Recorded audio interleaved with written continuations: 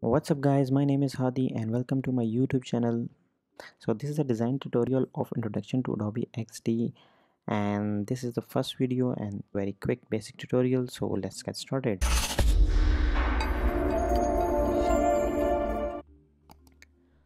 So this is the interface you will see when you open XD for the first time. And as you can see this is the home home of Adobe XD and we have predefined artboards over here and uh, as Adobe XD is UI UX design tool so we have uh, all the mm, all the predefined artboards of every platform. Like if you want to design any smartphone or tablet application you will go for this. Click on this drag down and select whichever you want like iphone google pixels or ipads. And for the web designs we have three predefined uh, artboard sizes um, the 1080p 786 and 800 and you can also design any social media post in adobe xd or youtube thumbnail if you want to. And for the customs one if you want to design any custom artboard screen. Uh, so in this case we i will go for the web design. Let's click on this one. There we go. This is our workspace of adobe xd and as you can see we have design prototype and share. Here are the, these three tabs and this is adobe is all about and this is even ui ux design is all about. You can design you can prototype your work and you can share your work with your clients. Um, i will i will divide this course basically into these three elements like design then i will teach you prototype and then i will teach you how to share your work with clients. So uh, let's back into the design tab uh, on the on the right side we have property panel and which is very very important and which is fixed uh, on this workspace. Uh, this is unlike all other adobe tools. So mm, uh, it it's changed according to what we selected okay? This is very important. If i go and create uh, if i go to my tools section and select this square tool and create a square or rectangle maybe uh, you can see as i selected this rectangle my property panel change according to this layer which is shape layer basically. Uh, we have uh, on the very top we have alignments like center left top right bottom. Okay let's back to make it to the center. Uh, we have size of this uh, shape rectangle shape. We have flip. Uh, it won't affect right now um, but I will tell you like how it's work. Um, we have rotation. So it will rotate as you can see let's back to zero. Uh, we have responsiveness. This is something uh, I will teach you later in tutorials. We have opacity which is very basic. Uh, we have fill layer let me change. Let me remove the borders by clicking on this little check icon and if I want to change the fill layer I will click on this fill button and select any nice color. Uh, there we go. And if you i want to change i want to add the shadow of course i will click on this. There's opacity of how much how darker the shadow will be. And this is the axis.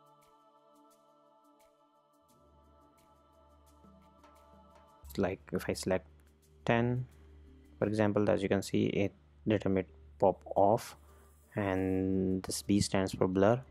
I will change the blur to 20 pixels like this. So as you can see we have blur.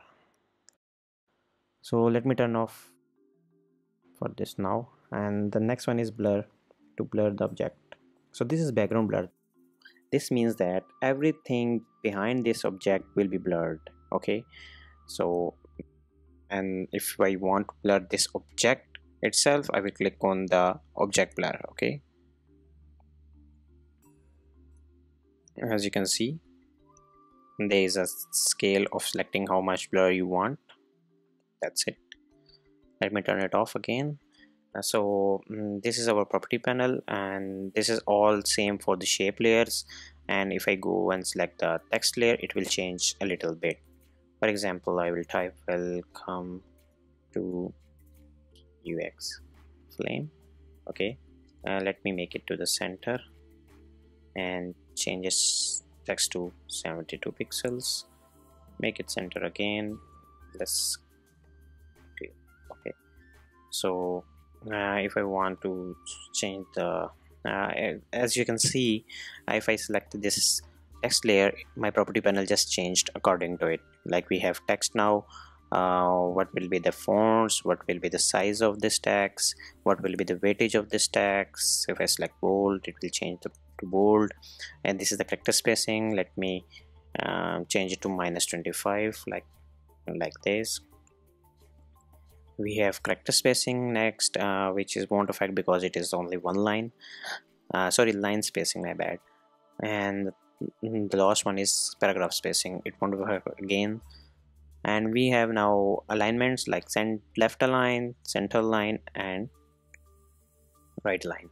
So in the next is we have auto width auto height and auto uh, fixed length. So if I go and change length of this it will automatically create like this. As you can see this is the responsiveness and you will get to know about that in the later tutorials. Like now I change the line spacing it will affect as you can see. Um, we have different this one is interesting one. Like as you can see this is the left line let me make it to the center line like this and make it to the center. Boom. On the next we have um, cases like uppercase lowercase first letter capital we have apostrophes and uh, everything underlined and cross text. Next is opacity which is same same blur. You can blur this uh, background blur. You can use object blur again the same thing. So the next which is very important useful and very nice to have uh, over here I like that. Uh, if you want to add any artboard like if for example iPhone X you can simply click on this and you will get artboard of iPhone X. And let me go back and I want to add a iPad design over here. There we go. So we have all these three artboards. And if you are going to design any a product for all these three platforms you can do it in one source file of Adobe XD here is uh, as you can see in these three icon at the bottom left we have library icon we have layers icon uh, which you will be very similar you know, with that layers you know uh, we have like one artboard of this. Let me change its name to uh, something like home page for example. Uh, we if you click on any of this layer inside this artboard it will show what's inside this all the layers okay uh, and the, the, third one we have plugin icon which is very very important. Like uh, plugins help you a lot in designing and they are very very useful plugins. And I will create another video for all the plugin useful plugins which I use and which I prefer and which I recommend to you guys also to use them, them and how to use them. Okay? So let's back to our library. Uh, th this is a document assets uh, all the assets you will create all the style guides all the font sizes you used and the color you used you will create a, a one style guide of all your design into this predefined uh, sets of categories in Adobe XD which is very useful. Uh, like if you want to add uh, this color for example this color I will use for all my branding and this is my primary color. So I will click on this plus icon and it will add add this color to it okay? And uh, for example let me create another shape. I will add this color again.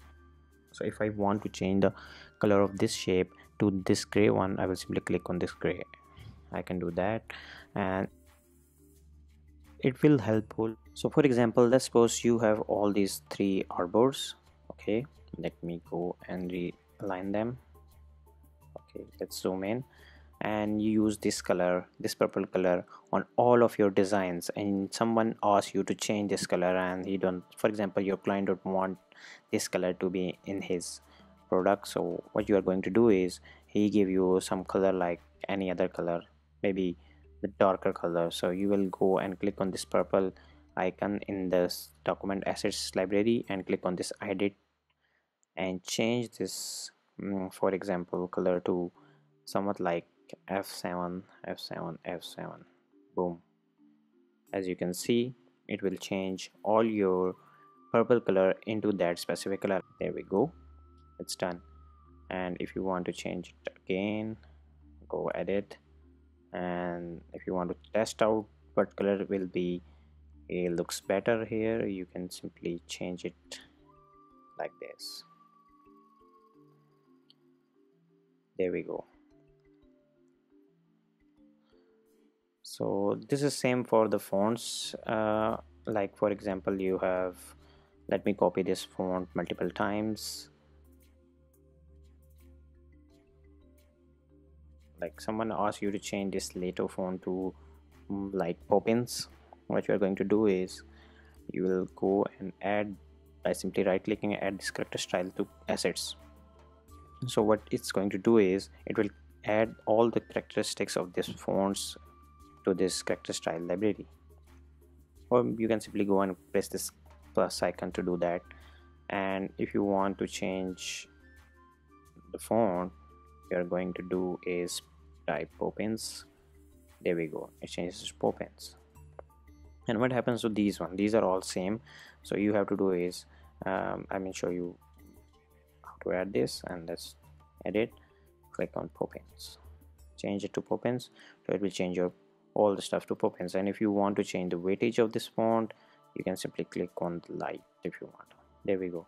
So this is how library panel works and uh, how you can create all the style guides if you want to. And this is the component uh, which is a little bit different uh, and which is something very advanced in Adobe XD and this is what make this tool very strong. I will teach you later about the uh, components and how it's work this is it for today's video guys. Hope you like it and if you learned something from this video please give a thumb up and subscribe to my channel for further tutorials like um, this was the first part one uh, about Adobe XD basics. The next one will, will be about prototyping and sharing and some advanced features of Adobe XD and components how to create a style guide and much more. So keep in touch and take care